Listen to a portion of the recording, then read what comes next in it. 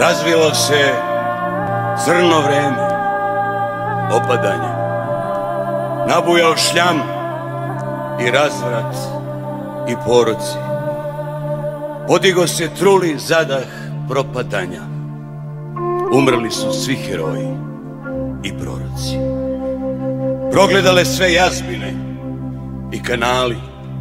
Na visoko podigli se sutureni. Svi prokleti, svi podmukli i svi mali. Ostadoše danas naši suvereni.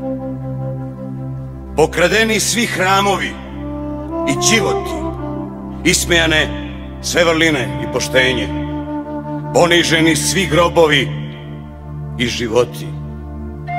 Ukaljano i opelo i krštenje. Zakovana pet vekovna zvona pune. Pobegao duh jedinstva i bog rata. Obesi smo sve praznike i tribune. Kojimo se od grehova i od blata. Od pandura stvorili smo velikaše. Dostojanstva podeliše idioti. Lopovi nam izrađuju bogataše. Mračne duše nazvaše se patrioti. Svoju mudrost rastoči smo na izbore. Svoju hrabrost na podvale i obede. Budućnosti zatrova smo sve izvore, a poraze proglasi smo za pobede. Mesto svetle istorije i grobova Vaskrsli smo sve pigmeje i repove. Od nesrećne braće naše Od robova Zatvori smo svoje oči i džepove.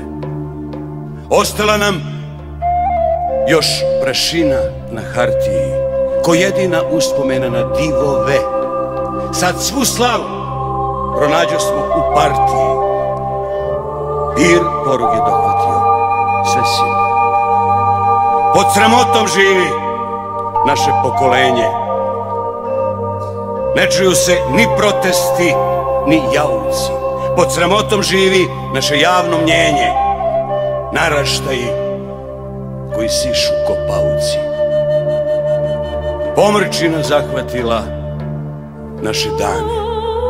Ne vidi se jadna naša zemlja, kuda. Al kad požar poduhvati na sve strane, kuda ćemo, gospodu, od svetlosti i od suda. Pomrčina zahvatila naše